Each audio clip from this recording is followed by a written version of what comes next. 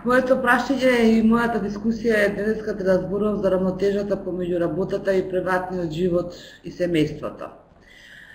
Кога некој ќе ме праша како јас успеав и што сметам за мој најголем успех во изминатите 20 на година како ја водам фирмата, а, како предприемач и жена, прво што ми паѓа на памет е балансот помеѓу работата, односно рамнотежата и приватниот живот семејството. А и да потенцирам дека нели и фирмата работам заедно со мојот сопруг и каде што треба многу енергија и поделба на обврските.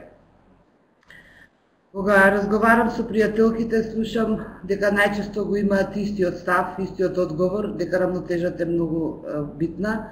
Меѓутоа, кога ќе ги слушам останатите соговорнички, кажуваат дека немаат време и не може да стигнат со врските, со семејството и со работата, и дека, мислам, таа, таа теза дека не е доволно издржана, бидејќи тоа е страв да се проба нешто ново, страв да се излезе од комфорот во кој што го имаат во секојдневниот живот, страв да се успе. Меѓутоа, самата помисла дека јас можам да придонесам за подобар живот во моето си, за моето семејство, ми дава сила да одам понатаму и да не се откажувам и да ги поминам сите препреки по патот на успехот.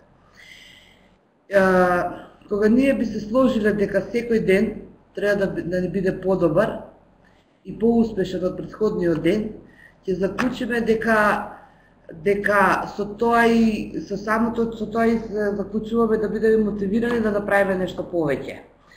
Кога ќе придонесуваме за нашето семејство и кога ќе се осеќаме дека денот е убав кога и обрските успешно ќе ги завршиме, самиот придонес за семејството и општеството ќе имаме убав и среќен живот. Точно е дека во денешниот динамичен свет многу е тешко да се проја да рамнотежа помеѓу кариерата и семејството. Но затоа ние, жените, ја имаме во нас вештината да се грижиме за целото семејство, работите обврски и работите да ги гледаме малку подалеко.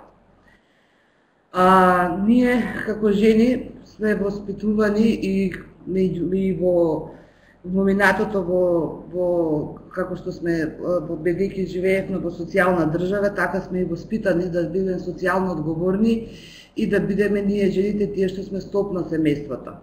Меѓутоа сите тие е, социјални карактеристики не прават да бидеме тоа што сме. Значи да, да сме ние тие кои што треба да се грижиме за семејството и за потребите на истото. А, тие карактеристики ние ги пренесуваме и на работното место, каде што се гледа и по начинот на раководењето во нашите фирми. Како што сме заинтересирани за долгорочна хармонија и одржување на семејството, на истиот начин сме посветени во компанијата. Бидејќи кога а, сакаме сите околу нас да бидат среќни и задоволни, истото тоа задоволство сакаме да го пренесеме во компанијата и јас верувам успешно сите овие години тоа го постигнувам. А, така да, кога ќе ги употребиме нашите вештини, односно кога за разлика од мажот менаџер, кој во својата моќ и авторитет ја темели позицијата која има по вертикалната хиерархија и формалниот авторитет јас сум на чело и нормално е да ме слушаат сите, жените менаџери ја црпат моќта од своите така наречени soft skills. Значи од интегрирањето, од советувањето, од тимската работа и така натаму. кога ќе ги земеме овие класични женски предности и кои ќе ги употребиме и по, де, по, по успешно и hard skills на hard skills вештините на жените, ќе излегува резултатот дека ние како жени сме и подобри во организирањето и во планирањето и во одлучувањето.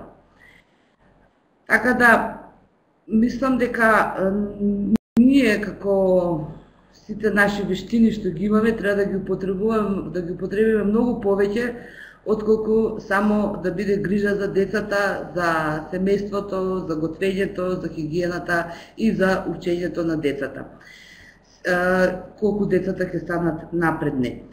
Меѓутоа, кога сите овие soft skills и hard skills ќе ги потребиме и во семејството, не може да нема резултати и во на, во домот. А, да се направи помеѓу семејството, баланс да се направи помеѓу семејството и работата, посебно кога жената е менеджер е многу тешко и треба многу енергија и храброст. Значи, освен добрата организација, секако е потребна и подршка од фамилијата, семејството, значи од мајка, татко, свекрва и но, но и најмногу од сопругот. Меѓутоа, треба да го убедиме семејството дека ни треба негова подршка, а ќе го убедиме кога они ќе сватат и кои ќе видат дека ние сме упорни, дека сакаме нештото да биде стварност. А, тешко е да Тешко е тоа да се успее и е многу макотрпно, и, посебно ако сопругот не заработува доволно за да се покријат месечните трошоци. Тогаш следуваат коментарите кај одиш, што правиш, се уште нема резултати, само трошиш време, трошиш пари. Меѓутоа, кога нашата цел е поставена и кога сакаме да, да, да постигнеме целта, верувајте дека упорноста со првата со првиот наш успех ние ги ги покриваме сите нивни негирања и сите нивни несакања да не подржат во тоа што сме го наумеле. А, можам да кажам, ова го кажувам од искуство бидејќи бизнисот кога го започнавме, а, започнав, а, го започнавме со со, со моите родители и со сопругот, кој да што мојата мајка работеше во центро тогашни продавници и она не научи како да како да работиме и како треба да се води една продавница, дека треба да биде со асортиман покриена, да има асортиман, да има да има добра услуга. Меѓутоа, кога јас сакав да воведам новини и да се превземе да бидеме и во опремата квалитет и да, да инвестираме во бизнисот, тогаш имаше кочници зошто сега ова, па зошто да се трошат пари, па како ќе земеме кредит, па и ова вака функционира, ајде да го поправиме и ред други работи.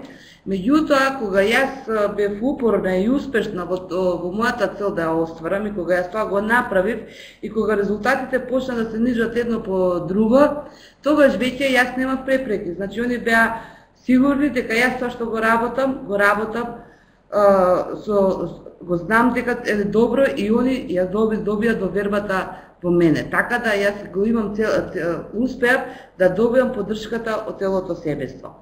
Меѓутоа, требаше многу труд, многу упорност, многу работа. Требаше да се откажеме, да се откажам од многу секојдневни поволности, да ги кажам во секојдневниот живот, меѓутоа, меѓутоа, сето тоа се исплатеше. А, значи треба да се убеди семејството дека ни треба неговата поддршка и дека е многу и дека нашата поставена цел и амбиција треба да да да успееме да, да не веруваат.